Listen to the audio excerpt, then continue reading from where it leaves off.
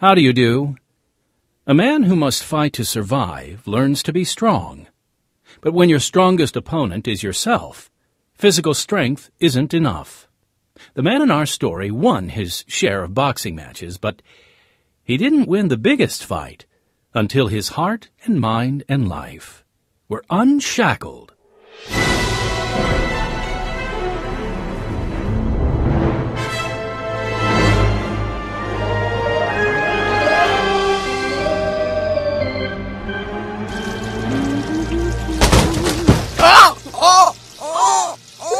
The world? Johnny, are you okay? Your face! Bobby hit me with a brick. Bobby, why would you do that? He asked for it. You could have killed him. Serves him right. He thinks he's so cool just because he had a few boxing lessons. It don't matter how many lessons he takes. I can still take him. Look at his face. He was always ugly. It's an improvement if you ask me. I'll kill you for this. This is Unshackled, dramatizing true life stories produced in Chicago by Pacific Garden Mission. Homeless people find it hard to trust anyone. So when they come to Pacific Garden Mission, they're already on the defensive. They'll eat the free hot meals offered and spend the night on the fresh, clean bed the mission provides. But they still have trouble trusting people when so many have let them down. Mission counselors understand, and that's why they speak to each guest individually and introduce them to the one they can trust, which is what this program celebrates. Now for broadcast around the earth, here is episode number 3548 in the series Unshackled, the program that makes you face yourself and think. The young man in our story had nothing on his side to save him from his brother's abuse. All he had was anger, and that anger grew inside until it controlled his life. This is the story of how love overcame that anger and taught him how to fight his real opponent. This is the classic true story of Johnny Garcia, right now on Unshackled. When Bobby threw that brick at my face, I thought the blow would kill me. My entire face swelled up and I couldn't even recognize myself. This wasn't the first time my brother abused me. He flew into these violent rages all the time, especially after getting drunk. My parents couldn't stop him. They seemed just as scared of him as I was. And they were such kind, loving people. I never understood where Bobby's violence and anger came from. Then, one day I learned the truth. Johnny, can you come here for a minute? Your dad and I want to talk to you. Uh-oh. No, it's okay. You're not in trouble, mijo. We just, well, we thought it was time to tell you that. We'd rather you hear these from us than someone else. You and your brother were already born when I met your mother. I love you as my own sons, but. What? What are you talking about? My ex and your birth father uh, was a terrible man. He used to beat me and you kids when he was drunk. I never thought I'd get away from him. When I met your dad, Ed, I thought he was too good to be true. He was so kind. I thought he was trying to get something out of me. But all he wanted was my love. Does Bobby know? Yes, he's a few years older than you, so he remembers your birth father. But I look just like you, our curly hair. I know. Maybe that's a sign that we're meant to be a family. I can't believe it. I thought you were my dad. I am your dad, mijo. I couldn't love you any more than I do now.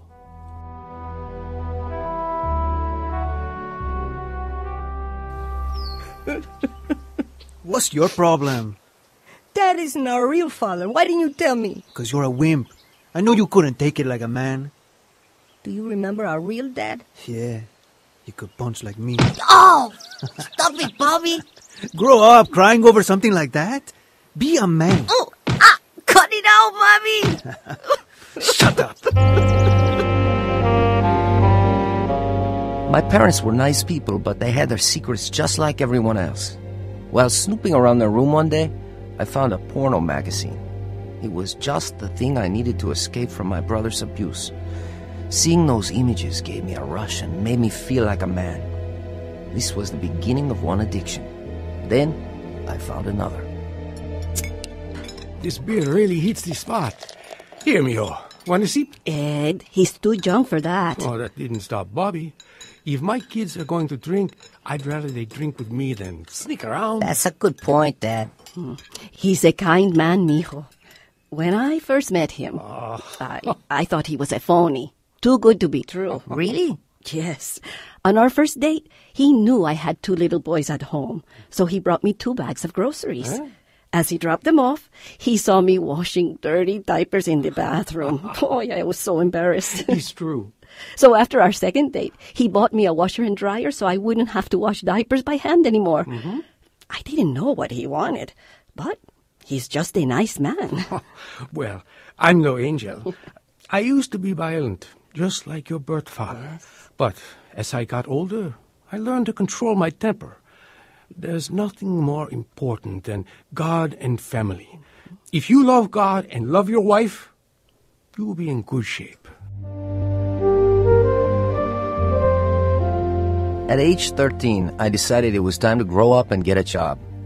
I started working part time as a stock boy in a liquor store. Temptation overwhelmed me. I stole their porno magazines and some bottles. Meanwhile, my brother continued to abuse me. Since we shared a room, I couldn't avoid him. As Bobby got bigger and stronger, I started to fear for my life. Can you set the table, Johnny? Mom, you gotta do something about Bobby. Ay, what is it this time? Last night, he tied me down and tried to suffocate me with a pillow. He just laughed the whole time. He- He's psychotic. Oh dear. Ed! Oh.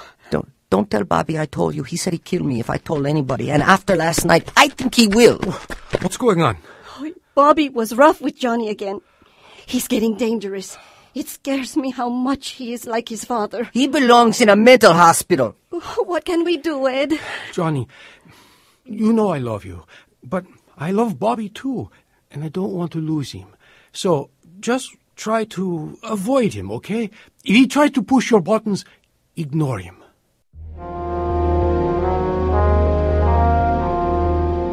I needed an outlet from the violence I suffered at home. I started picking fights in school. I would punch guys just for looking at me funny. I took up boxing to defend myself against Bobby, but then I developed a real love for the sport. Mom, guess what? I'm gonna fight in the Golden Gloves boxing tournament. I am proud of you, son. I know you'll go far. Maybe I'll be a pro someday and get rich. If you want to be a professional athlete, you need to take better care of your health. There's nothing wrong with my health. I notice you've been drinking. Not as much as your brother, I but don't drink. Don't lie to your mother, mijo. Okay. Maybe a beer here and there. But everybody drinks. Well, just be careful. Truthfully, I did a lot more than just drink. I smoked pot and used cocaine, and my pornography addiction remained as strong as ever. Finally, the situation with my brother escalated. After a heavy drinking binge, we broke out into a vicious fight right in the yard. Bobby grabbed a brick from a planter and. Oh! Ah, oh, oh what in oh. the world? Johnny, are you okay? Your face! Bobby hit me with a brick. Bobby, why would you do that? He asked for it. You could have killed him! Serves him right. He thinks he's so cool just because he had a few boxing lessons. It don't matter how many lessons he takes, I can still take him. After those boxing lessons, I still couldn't defend myself against my brother. Ignoring him wasn't enough. I had to physically remove myself from his violent presence.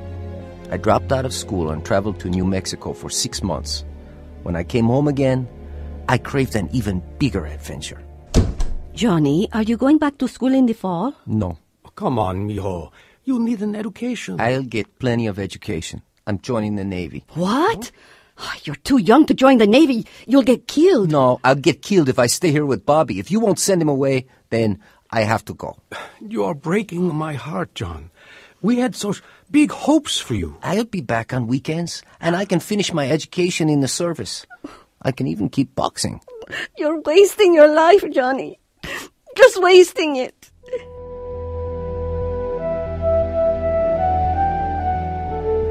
I did well in the Navy. They sent me to San Diego, close enough to home that I could visit my friends and family on weekends. They took pride in my success, but Shortly after I joined, an unlikely event changed everything. Johnny, did you hear about Bobby? No. What happened? You didn't hear about it yet? I'm not speaking to him, Mom. You know that. That doesn't matter anymore, Johnny. You need to know about this. He was working on the forklift and What happened, Mom? You won't believe it. He'll never be the same.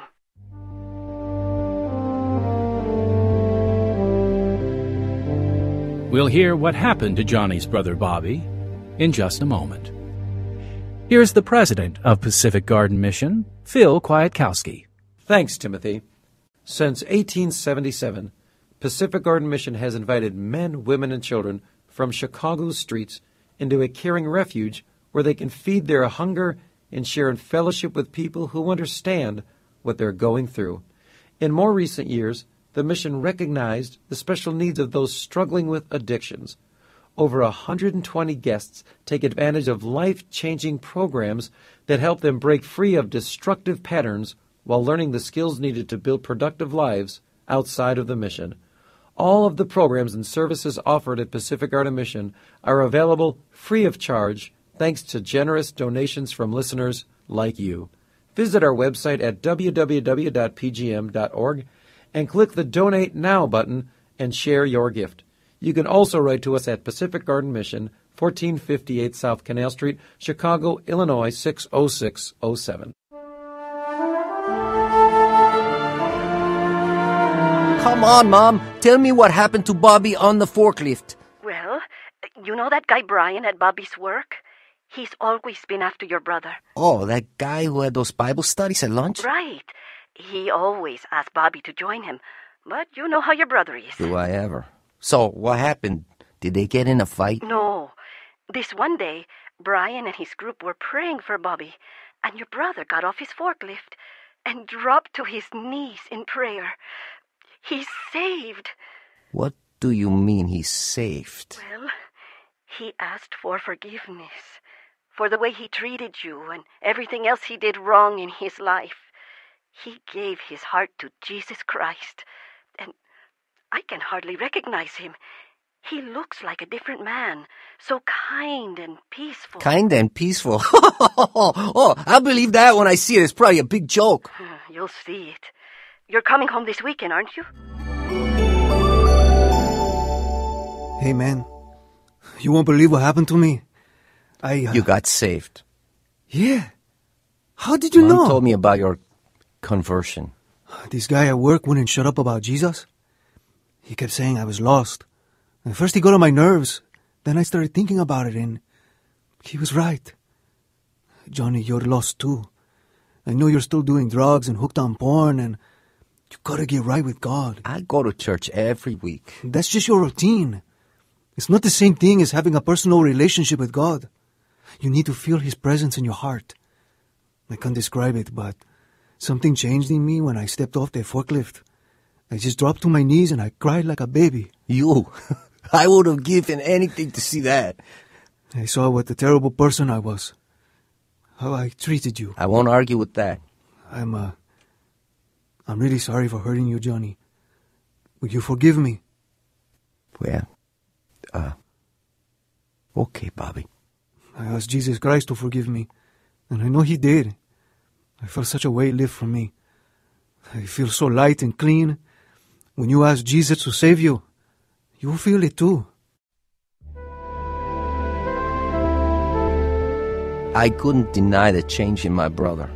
He mailed me a Bible and wrote me letters about his faith in Christ, but I didn't understand it. My passion for boxing took a backseat to my new career in aviation. On paper, I seemed to be excelling at my job, but my old habits continued. You got any more blow, Garcia? No, we use it all on a plane. Oh, was that wild or what? Not as wild as that little Alaskan girl I brought home. You got yourself in trouble, bud. Yeah. What are you gonna do about that chick you knocked up? Does your fiance know about that? I'm not worried about it. She she says she got an abortion. Oh, way to go, lover boy. Way to go! That's awful! hey, I can't help it if women fall in love with me. You're a jerk, man. You don't joke about stuff like that. What did you say? I'm just saying it's not cool, Garcia. It's garbage behavior.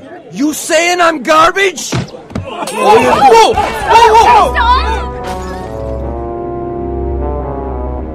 Our fight was intense. I hurt that man worse than he'd been hurt in Vietnam.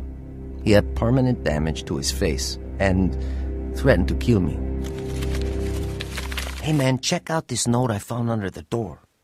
I'm watching you, Garcia. I know when you sleep. I know when you shower. I'm gonna get you. Hmm. You sound serious. Yeah, it's that guy I beat up the other night. He wants to kill me. You better do something about this, Johnny. I'm asking for a transfer.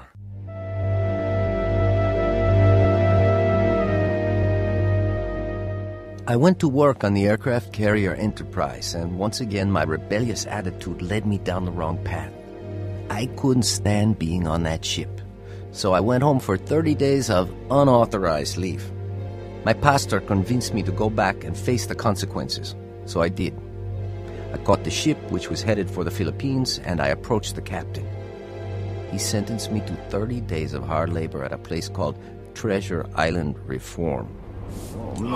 Jesus, worse, Garcia, is that the best you can do? Huh? Put some muscle into your work. I want this deck sparkling clean. I've been at this all day. It's not getting any cleaner. Because you're not trying. You scrub like my grandmother. What's the matter? Of afraid of breaking a nail? and if you talk back one more time, I'll see you get another 30 days. Now scrub! At least I got some fresh air swabbing the deck. At night, we had to sit in our cells doing nothing. We weren't allowed to talk to each other. The only thing we were allowed to do was read the Bible. As soon as we were free, we went straight to a bar in the Philippines to get drunk. How about that rehab? Huh? It really whipped us into shape, huh? I'm never gonna take that abuse again. Mm-hmm. What are you doing after this? I'm gonna try and get a girl for the night. Or two. So you're not gonna sit in a room and read your Bible? The Bible's alright. My family believes in that stuff, but me, eh?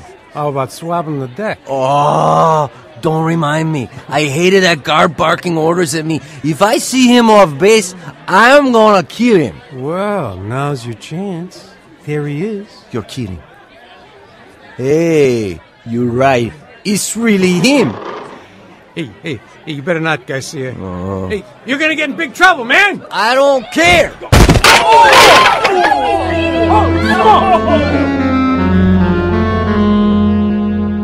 I punched that guard right through a wall. When I returned to the ship the next day, I saw wanted posters hanging everywhere. My face was on them, and I faced criminal charges for assaulting an officer. Uh, Mr. Garcia, hitting a supervisor is a very serious offense. We've tried to accommodate you. We've tried to rehabilitate you, but this court cannot tolerate such behavior. Now, do you have anything to say in your defense before sentencing? Captain, I'm sorry. I have been drinking. I, I don't remember what happened that night. No, no, witnesses back up your statements, but that's no excuse for striking an officer. I'm sorry. Please don't send me to jail. Please, I can't go back to that brig again, sir. Well, the court has every reason to sentence you to prison time for your egregious behavior, but in consideration of your service record up to this time, the court will instead give you a general discharge. Uh, you will wait for your flight back to the U.S. mainland in a brig on shore, Mr. Garcia.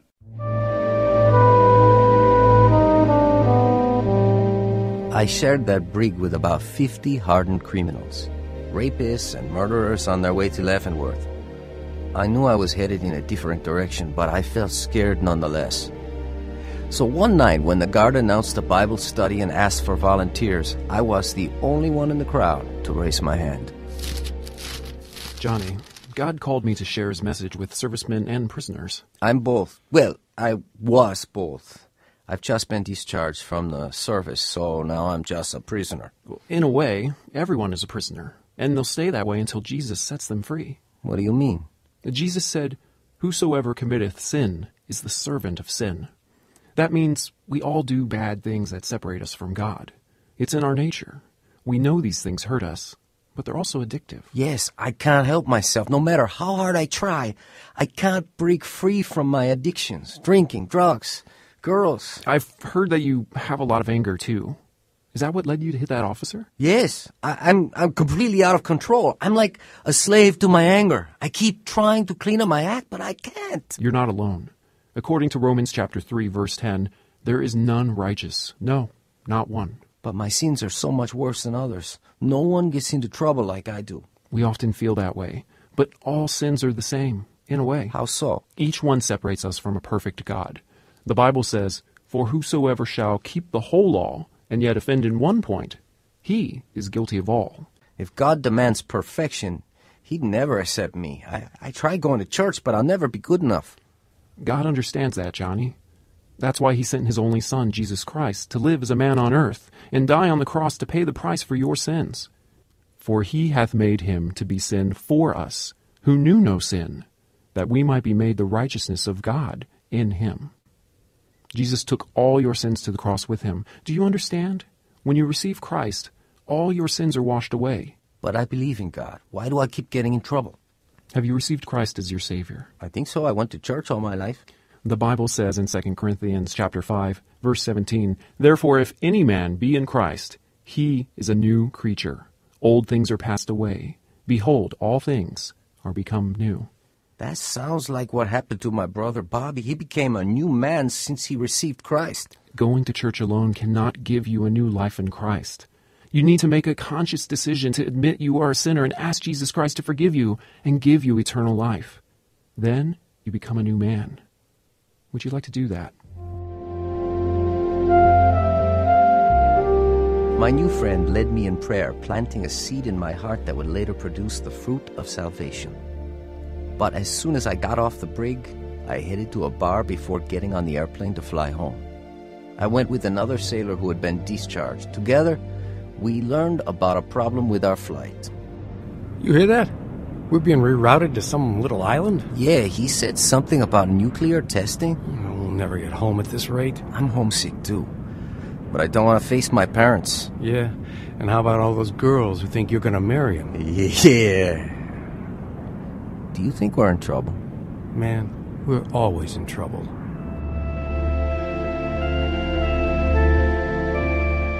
My whole life seemed to be falling apart. I feared what was waiting for me at home and what my future would hold. I reached under my seat and grabbed the Bible that Bobby had sent me. When I opened it, a letter from him fell out. Brother, if you ever get to a place where you don't believe in God, try Him, and you'll see He's real. Lord, if you're real, please come into my life.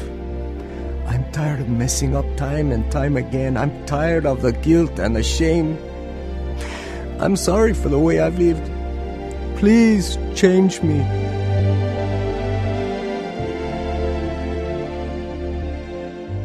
For the first time, I understood how my brother had changed so dramatically. Tears poured from my eyes as I felt God's wonderful peace and forgiveness wash over me. My sailor friend must have wondered why I was crying because once we landed on that island, he asked, You okay, Garcia? What happened to you up there? I asked Jesus to come into my heart and change me, and he did. I know he did because I feel completely different. So, why were you crying? Because it felt so good, like I was free. You need to get some sleep. I think all this traveling's getting to you. Two weeks after we landed in California, I jumped in my car and drove all the way home. It took six straight hours. When I got there, I saw my brother lifting weights in the backyard. Hey, Johnny! What brings you home? I just got out of the Navy, but I have bigger news. I read your letter on the airplane and did what you said. I asked God to come into my heart and change me. That's great. Bobby, I felt something change inside of me and I started crying like a baby. the same thing happened to me. You're born again. It feels awesome. I can see the difference already. I'm so glad you realized what I did. That Jesus is real. That was 1986. With God on my side, I finally broke free and became a new creature in Christ. He delivered me from pornography, alcohol, and violence. My mom and my stepdad came to the Lord. Then my younger brother and sister, as well as cousins, aunts, and uncles.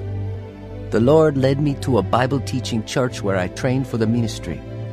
And when I came home after my time in the service, I met an old friend who would change my life forever. Johnny, is that you? Hi, Diana. It's great to see you after all that time in the Navy. You too. I can hardly recognize you. Everyone's saying I look like a new man, and I am. I'm saved. Mm-hmm. You've always looked good to me, but I was afraid to get to know you better. You were so violent in high school, always fighting. God took that anger away. I've been praying that he would. So, what's that you said about getting to know each other better?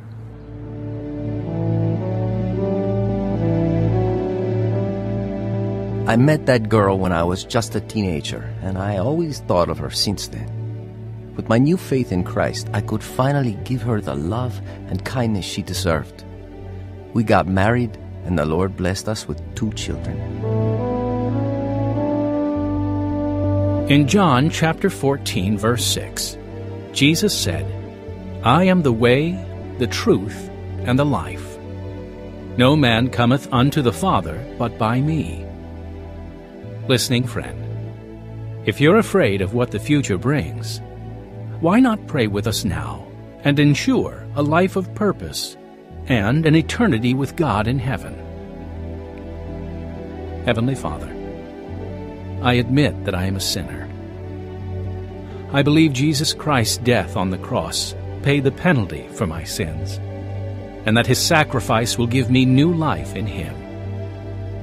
Please come into my heart and guide me to be more like Jesus. In his name I pray. Amen. If you'd like to learn more of what it means to have a life with Christ, we'd like to send you some literature to help you learn more about Jesus Christ and his love.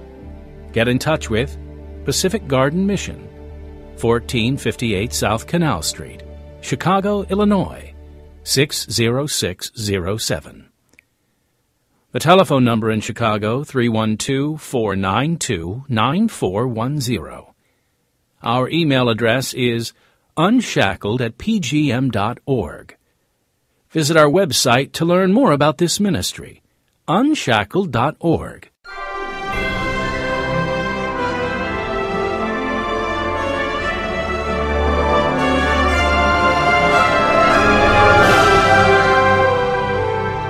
If these true stories are inspiring to you, call your radio station manager and say, Thank you for playing Unshackled.